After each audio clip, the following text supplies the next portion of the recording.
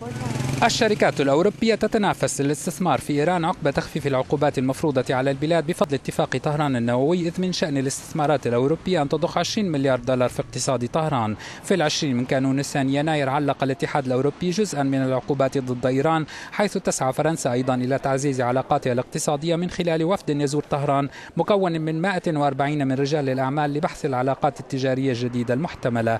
العديد من أعضاء الوفد يمثلون شركات عملت في إيران قبلا دلالة على الرغبة في استئناف النشاط. نصيب شركة بيجو الفرنسية للسيارات من السوق الإيرانية في عام 2011 كان الثلث ولو أن الشركة علقت أعمالها في البلاد العام الماضي.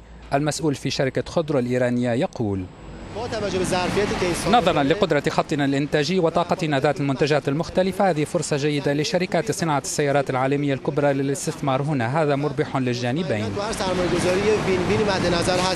تقرير أمريكي وصف صناعة الطاقة الإيرانية بأنها منجم ذهب كامن للمستثمرين الأوروبيين وفقا لمسؤولي النفط الإيرانيين فإن عمالقة النفط في العالم يخططون للعودة إلى إيران وهو ما عبرت عنه أيضا كل من لوك أويل الروسية وتوتال الفرنسية وإيني الإيطالية.